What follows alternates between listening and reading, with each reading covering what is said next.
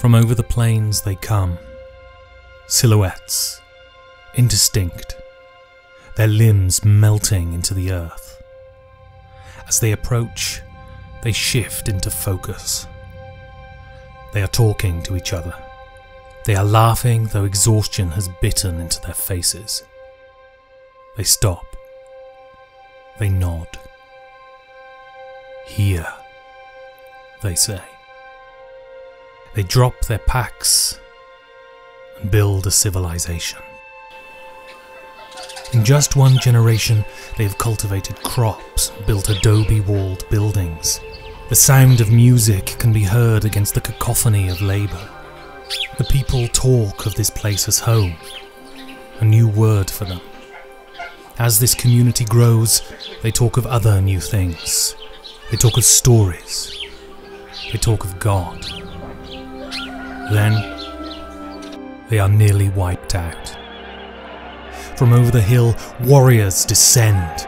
Their fists and stones are nothing against the weapons of the enemy. So ploughshares are hammered into spears and swords. Their first era is over.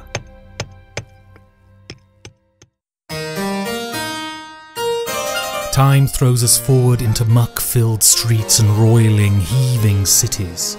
Carts throw filthy water onto the people making their way to their work. No one grows their own food anymore. They work for meagre coin and buy what they can.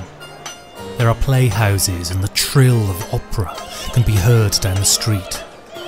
The chieftain has been replaced by the monarch, who sits on their throne and complains of their gout. They tell their citizens of their duty, while those citizens die in the street.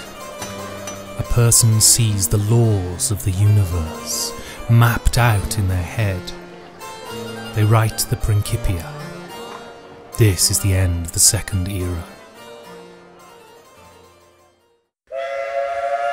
Train chugs by. The world is smaller now. People flock to flickering images on screens. The skies are clogged with soot. The river is filled with lead. Where once the hammer of the blacksmith was heard, we hear the hiss of the piston and the clank of the machine. The modern world.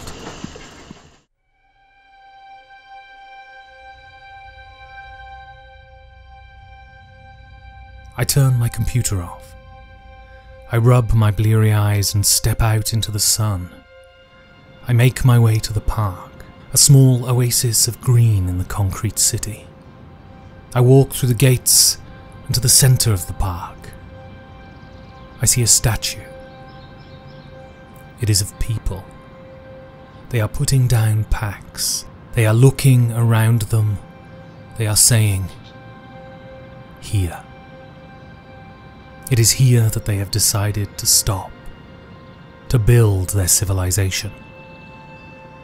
I look at them and I know. I built this.